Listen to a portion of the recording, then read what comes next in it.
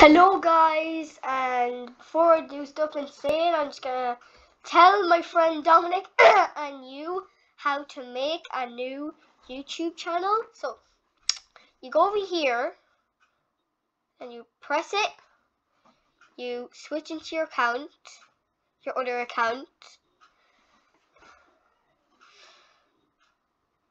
and then go to your own channel and then just upload the videos on this channel and then they'll just upload on this channel. Bye guys!